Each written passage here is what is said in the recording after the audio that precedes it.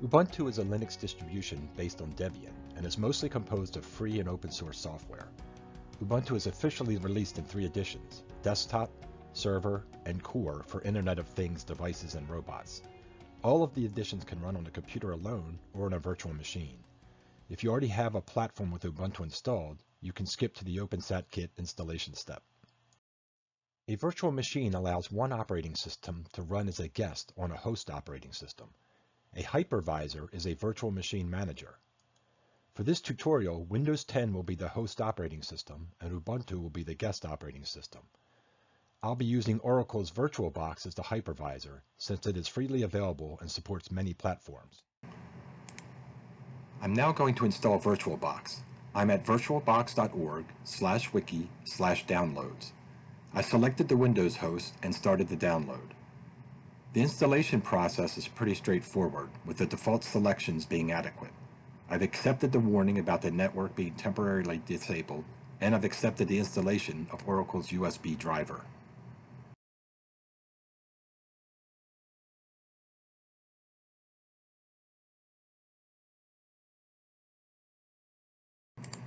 After VirtualBox is launched, it's prompting me to install extensions, which I've accepted. As you'll see, VirtualBox will list some existing VMs I have on my host computer. We won't be using these. We'll be creating a new VM. Now that we've installed VirtualBox, we're going to need to get a copy of Ubuntu to use for our virtual machine. The most current version of Ubuntu at the time of this recording is 20.04.1. However, I'm going to install desktop Ubuntu 18.04.5 LTS. The LTS stands for long-term support. I'm doing this because the Cosmos installation fails with Ubuntu 20. I've provided details on the OpenSatKit wiki homepage in the installation section on why this is the case. So I'm at the URL releases.ubuntu.com slash bionic, which is the name they've given to this release, Bionic Beaver. I'm going to select the desktop image and start the download. This takes a long time, so now that I've started it, I wanted to make you aware of another point. That um, when we set up the virtual machine, we're going to need to set up the memory and hard disk space requirements. And that previous release page didn't specify any of that. So I've now clicked over to the main release page of Ubuntu, which is the 20.04 release. And here they have recommended system requirements. So we're going to use these requirements when we set up the RAM and the hard disk drive for our virtual machine. We now have VirtualBox installed in an Ubuntu disk image, so we're ready to create our virtual machine and initialize Ubuntu. So we go to the new icon, and if we put something like Ubuntu in our name, notice that the, the type turns into Linux. So it's smart enough to do that. So we're going to name our VirtualBox uh, Ubuntu OSK, and it's 64-bit. Now, as I mentioned, we had to worry about resource size, so we'll at least get it past, we'll get up to 4K, or 4 megabytes. And we're going to create the virtual hard disk now. This is fine, the disk image. And it's going to be dynamically allocated. We're using all the defaults here, and if you recall, it was 25 gigabytes, so 29. That's good enough for demo purposes. And now we've created it. So our new Ubuntu OSK is powered off. We're going to double click it to start it for the first time.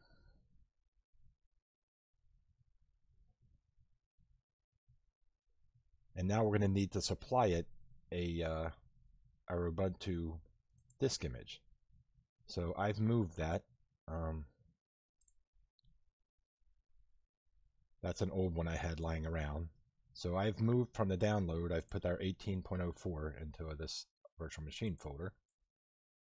I choose this. And now we can start it.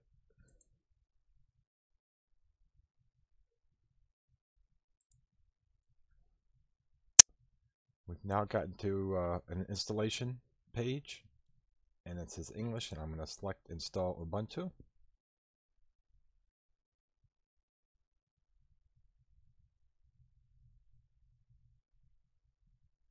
continue.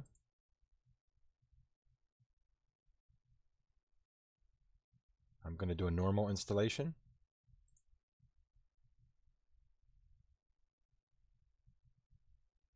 It's okay to erase the disk and install Ubuntu because we are doing this in a virtual machine.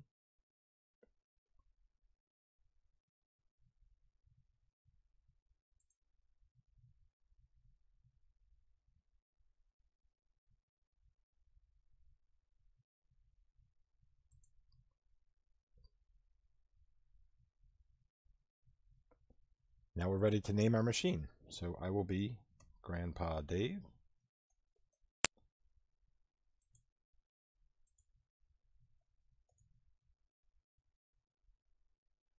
My username Grandpa Dave, and I'm going to put OSK lowercase for our password. And now it's starting the installation.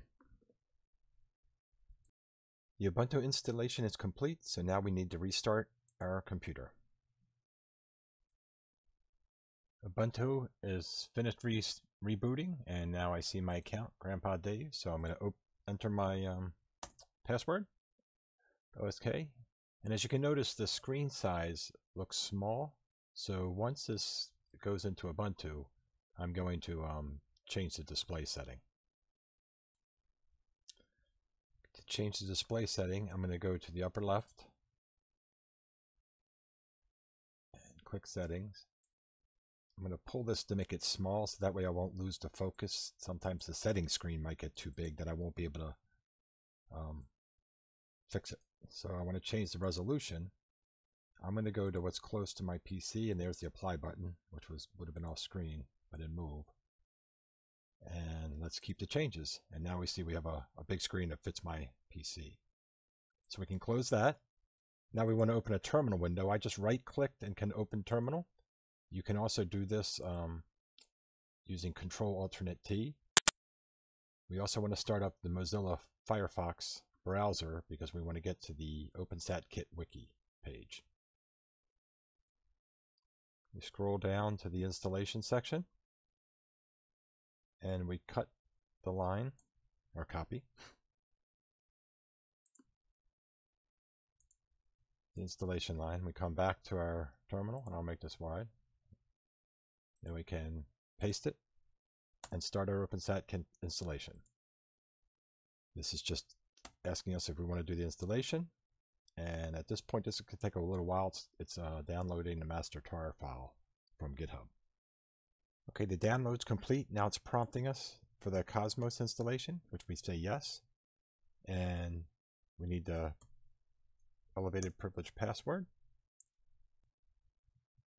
It's now prompting us whether we want to install Ruby using the Ruby environment, and we want to say yes to that. The Cosmos installation is complete, and now we're being prompted whether we want to install and run a demo of Cosmos, and we can hit no to that.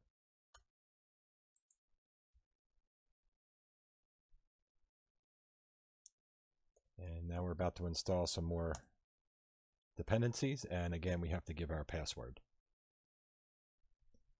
The installation is complete and now we're being prompted to close this terminal and then reopen a new one and then go to the Cosmos directory and run Ruby Launcher. The closing of this terminal it has to do with uh, the reinstalling of the Ruby environment variables. So we can open a new terminal. It will take us to a new home directory. And if we do a cd to open like kit master, Cosmos, and we can do a Ruby launcher. Remember the capital L. Oh, right, and this just reminded me. Um, I'm still not sure why this happens. The bundle install was done in the installation script, but it needs to be repeated again. And that's a bug that still needs to be worked out.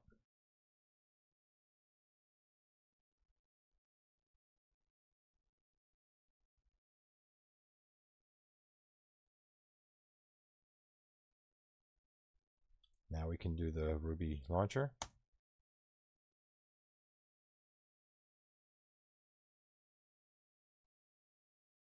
Cosmos has been launched.